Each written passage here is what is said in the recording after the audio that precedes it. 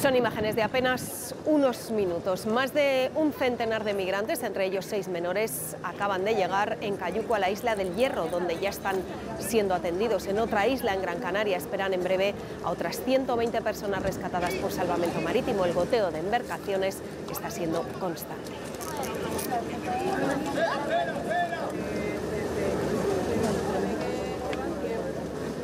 Y mientras el choque entre el PP y el Gobierno a cuenta de la inmigración sube de tono, Núñez Feijóo acusa directamente a Pedro Sánchez de alentar un efecto llamada con las propuestas que ha lanzado en su gira por África. Entre ellas está la llamada migración circular, es decir, contratar en origen a trabajadores que después de un periodo en España volverían a su país. Sería una forma, dicen, de aliviar la llegada de inmigrantes irregulares que tienen al límite a Canarias o Ceuta. Estamos, de hecho, en esos dos puntos en directo, pero vamos a empezar en en Gambia, parada hoy del presidente del Gobierno, el Ejecutivo acusa al PP de abrazar el discurso de la ultraderecha y vuelve a apostar por una migración controlada. Almudena Guerrero.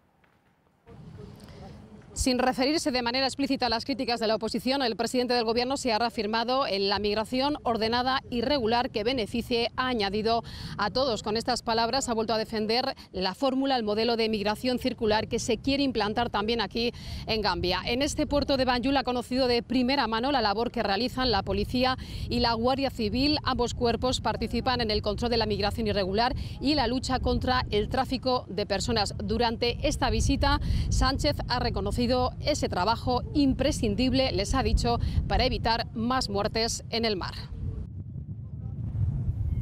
Segunda parada de la gira y segundo acuerdo de migración circular. Gambia firma este convenio por el que España forma y contrata trabajadores en origen para que vengan aquí temporalmente con el compromiso de regresar, una modalidad que se puso en marcha en 2007 a raíz de la crisis de los cayucos y que ya está vigente en países como Senegal, Marruecos o Colombia. This new initiative aims at facilitating safe, orderly and regular migration that will benefit both our countries and citizens. A la lista también se sumó ayer Mauritania, de donde proceden la mayoría de cayucos que llegan a Canarias. El presidente del gobierno apostaba allí por esta fórmula como alternativa a la migración ilegal. La contribución de los trabajadores y de las trabajadoras migrantes a nuestra economía es fundamental.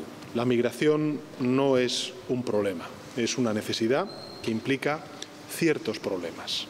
El Gobierno estima que España necesitará entre 200 y 250.000 trabajadores migrantes en los próximos 25 años para sostener el estado del bienestar.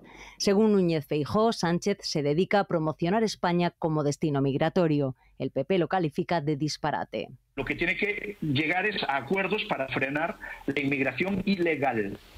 Y en vez de hacerlo, lo que hace es fomentar un efecto llamada irresponsable. Vox habla directamente de invasión. Abascal dice que los españoles van a tener que empezar a defenderse por sí mismos. El gobierno le pide al Partido Popular responsabilidad y humanidad y que no se deje llevar por la extrema derecha. El único efecto llamada que se produce es el efecto llamada que produce Vox sobre el Partido Popular. Vox siembra odio y xenofobia y el Partido Popular lo alimenta y trata de aprovecharse. El presidente del gobierno terminará su gira en Senegal.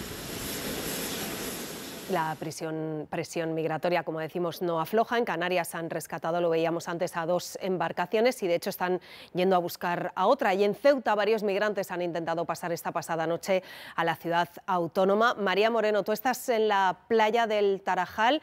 Es verdad que muchas menos llegadas que estos días pasados porque del lado marroquí se ha reforzado la seguridad.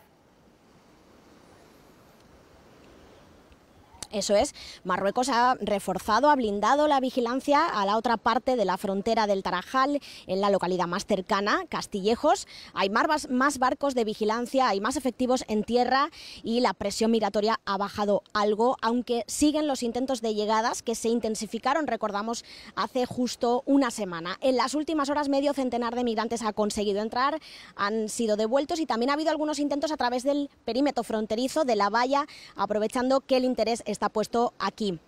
Siguen también la llegada de menores no acompañados, 17 en las últimas horas. Salvamento Marítimo ha hecho un rescate de madrugada, una lancha neumática en la que viajaban siete menores.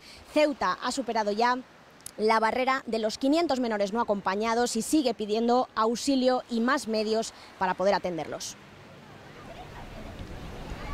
En Canarias estamos muy pendientes porque en aproximadamente unas dos horas llegará un nuevo cayuco aquí al muelle de Arguineguín con 120 subsaharianos a bordo, la mayoría procedentes de Mali. Según Salvamento Marítimo, todos vienen en buen estado de salud y habría 11 menores a bordo. Esta embarcación se localizó este lunes a unas 320 millas del sur de Gran Canaria y ha tenido que ser remolcada por un buque de salvamento marítimo debido a la mala mar. Es una muestra más del drama migratorio que vive cada día Canarias. En lo que va de año han llegado a las islas más de 20.000 migrantes y sus centros de acogida están al borde del colapso. Para que se hagan una idea, a la isla del Hierro en apenas 24 horas han llegado dos nuevos cayucos y lo hacen precisamente hoy, cuando se cumplen 30 años de la llegada de la primera patera a Canarias.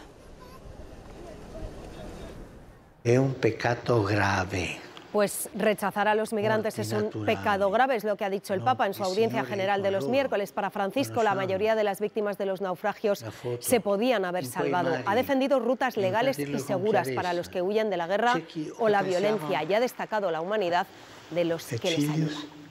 Espíritu Santo.